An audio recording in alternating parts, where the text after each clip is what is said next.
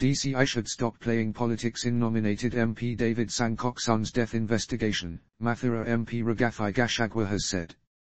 Memusi Sankok, 15, allegedly shot himself dead with a gun last week. We want to ask the agency to be empathetic with this family since they are having a hard time Gachagua said. Losing a son at this young age is very traumatic. The family has done everything needed, post-mortem has also been done and investigations concluded on cause of death.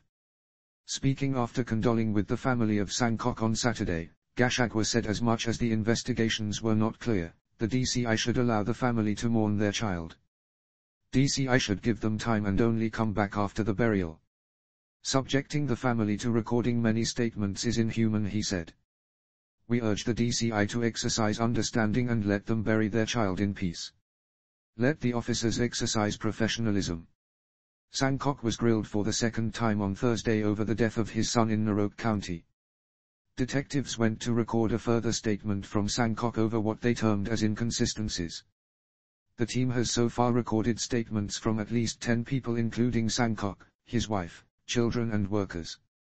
It was as they went through the statements they detected inconsistencies hence the need for clarification police said.